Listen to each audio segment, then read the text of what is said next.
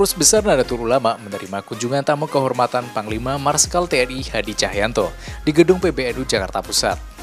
Disambut oleh Ketua Umum PBNU Profesor Dr. Kiai Haji Said Akil Sirots bersama Sekjen PBNU dan jajaran pimpinan PBNU lainnya.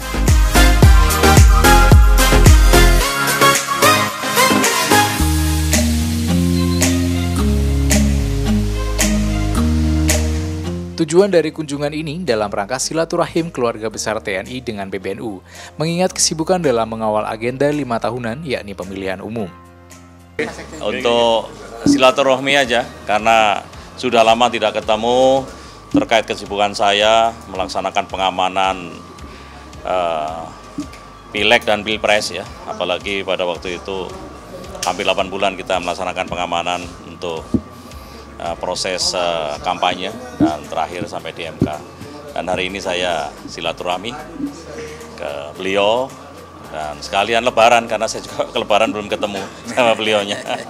Iya, itu aja sebenarnya. Agenda yang dibahas ya kita bicara ya terkait pentingnya menjaga persatuan dan kesatuan bangsa ya kan dari seluruh komponen dan tugas saya adalah untuk merekatkan uh, seluruh komponen bangsa tersebut sehingga saya banyak berbicara masalah bagaimana kita menjaga persatuan dan kesatuan bangsa.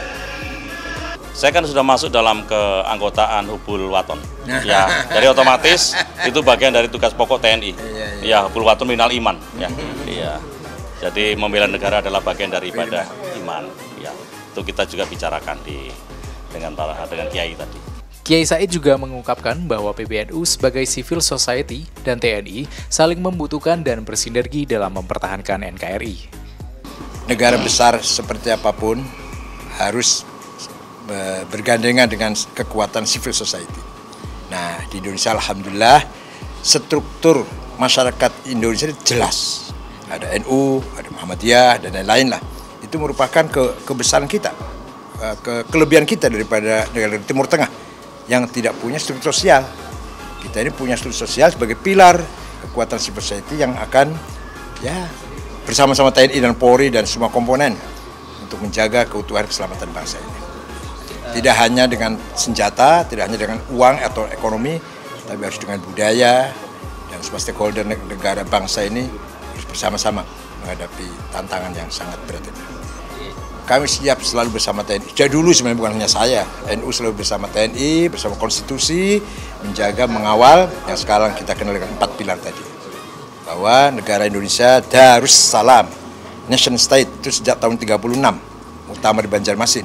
Kemudian tahun 84, pertama kali Gus Dur jadi presiden, eh, jadi ketua PBNU, eh, keputusan PBNU, Pancasila sudah final.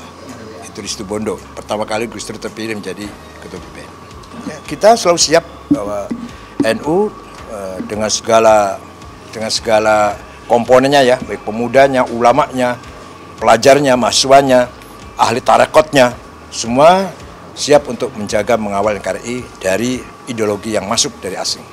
NU Channel melaporkan.